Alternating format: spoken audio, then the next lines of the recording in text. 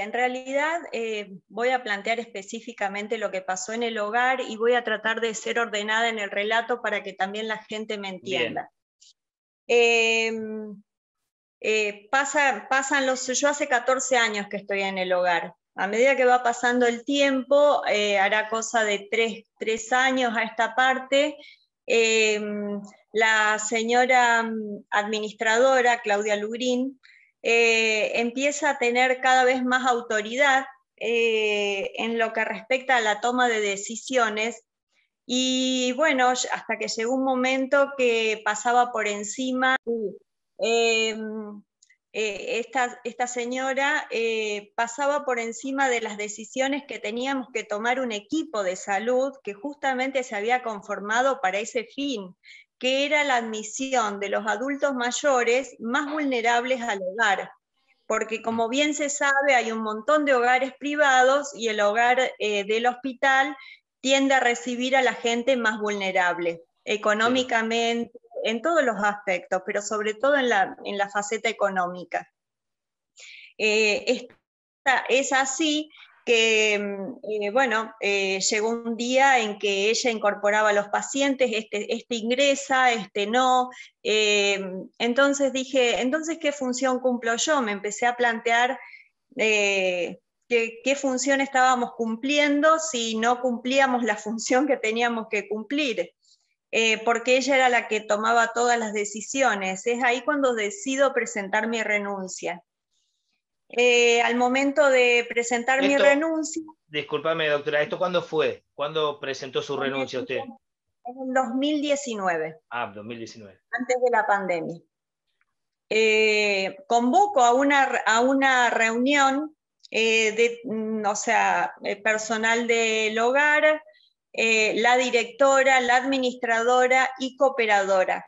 ¿Por qué involucro también a la cooperadora? Porque la cooperadora eh, formó siempre parte de lo que es eh, cubrir las necesidades tanto del hospital como del hogar. Entonces eh, yo creía que ellas también debían estar presentes para escuchar cuáles eran los motivos de mi renuncia. Eh, bueno, se lee la, renuncia, eh, mi, carta renuncia, a la cual la directora dice, yo no, la voy a aceptar, o sea, yo te voy a dar un tiempo para que vos decidas. Eh, bueno, empezamos a hablar sobre los temas por los cuales renunciaba, que era justamente el autoritarismo de, de esta mujer.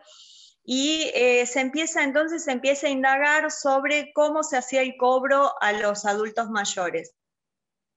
Eh, se le pregunta específicamente a la administradora. En ese momento ella contesta que eh, desde provincias eh, estaba ya nomenclado que se debía retener el 70% de sus haberes.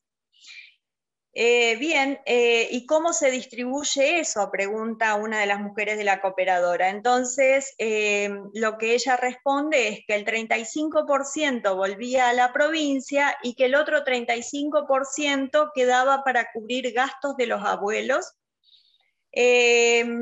y lo que sobra, le dijeron, lo que sobra lo repartimos entre nosotras. ¿Entre quiénes? Entre las administrativas.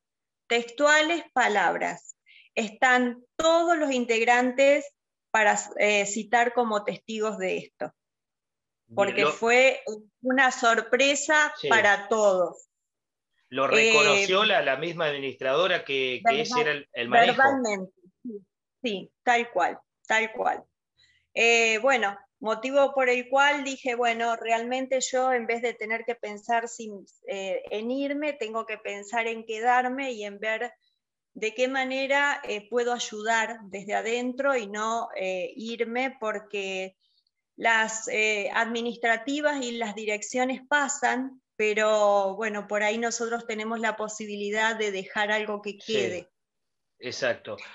y Bueno, es, perdóname, es ahí cuando entonces yo me empiezo a involucrar en el tema de cómo se cobraba a los abuelos y es ahí de que me entero de que inicialmente se les, paga, se les eh, emitía como recibo un recetario, eh, recetario, ¿eh? de los que se usan para hacer recetas, bueno, ¿Cómo recibo un recetario firmado por la señora Lugrin sin aclaración de firma, sin sello ni nada? Eso era el recibo que se les emitía. Entonces yo me pregunto, si a cada abuelo se les emitía un recibo en negro, porque eso es un recibo en negro, entonces esa plata iba a la provincia, esa plata realmente, el 35% que tenía que ir a la provincia, ¿llegaba? Son preguntas que yo no tengo respuesta y que espero que la justicia me las dé.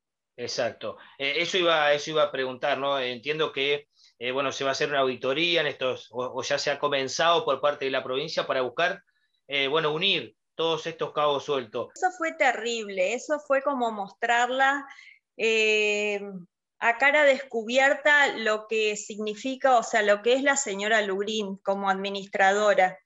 Eh, porque la verdad que fue vergonzoso, vergonzoso para nosotros, porque es una tarea que me encarga, eh, ante la presencia de la jefa de enfermeras, me encarga la directora que me hiciera cargo de la reubicación de esos seis abuelos.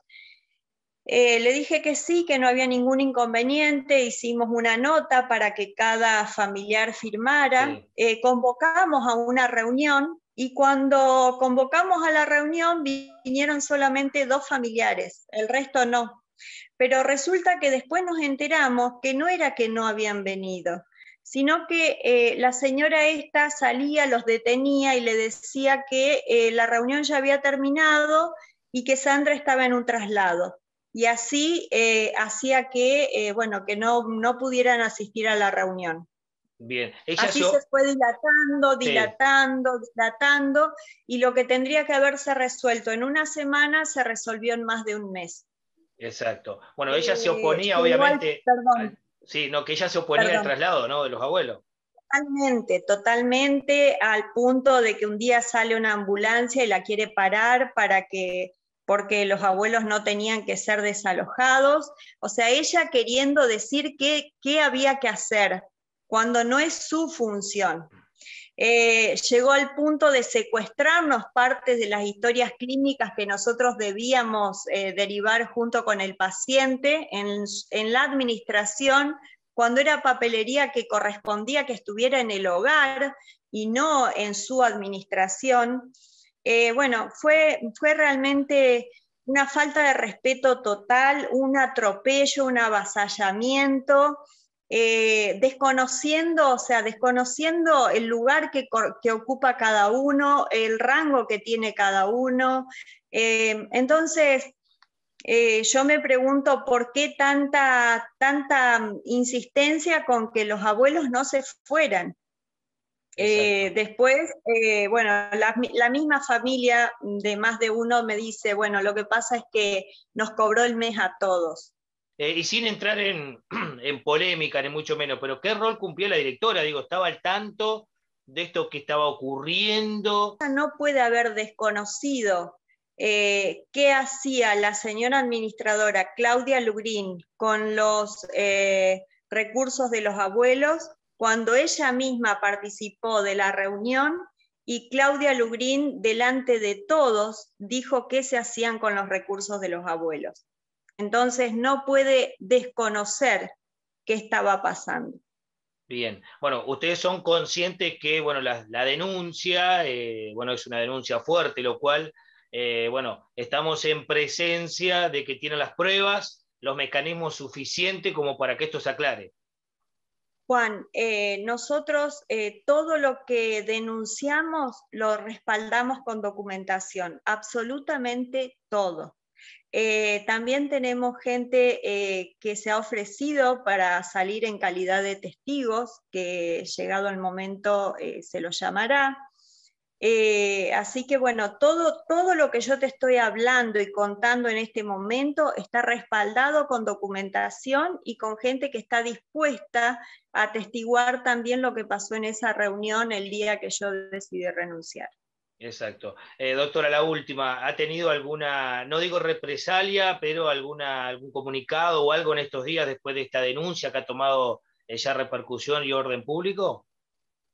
No, no, ninguna represalia por parte de nadie, de ningún, mm, de ninguna persona, al contrario, simplemente el apoyo de la comunidad, eh, el hacer sentir que, bueno, que, en esta estamos todos, eh, que, es un sentimiento de justicia que también la comunidad quiere. Y, bueno, yo solamente quiero, eh, lo que les digo es que nos la, comunidad de Villeliza es una comunidad sumamente colaborativa, por lo tanto nos merecemos tener un hospital transparente y que si alguien va a colaborar, eh, que sepa dónde van esos fondos. Eh, ni más ni menos, no se pide nada del otro mundo, se pide lo que se debería haber hecho siempre.